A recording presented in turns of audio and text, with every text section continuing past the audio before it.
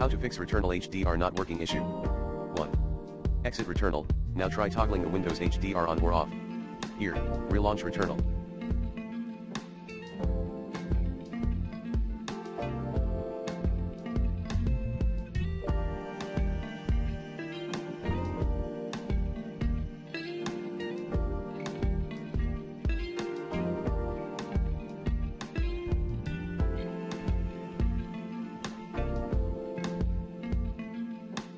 Two.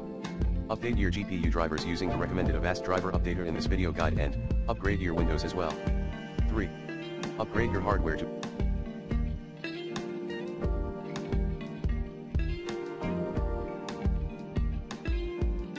meet Returnal system requirements. 4.